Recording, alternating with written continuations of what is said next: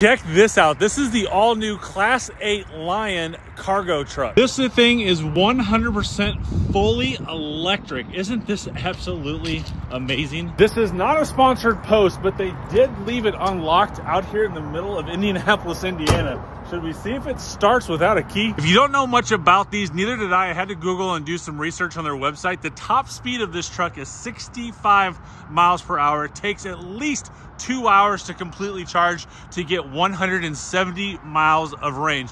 But the really awesome thing about this truck is it has a 60,000 pound GVWR. And this thing is absolutely amazing. You can see it's got little air things here. And then when you get under here, oh yeah. There's, there's nothing, no exhaust, nothing. Lion claims that this is an 80% reduction cost in energy and 60% reduction cost in maintenance. Now, could you see these things being driven all over the country for your next delivery? Delivery?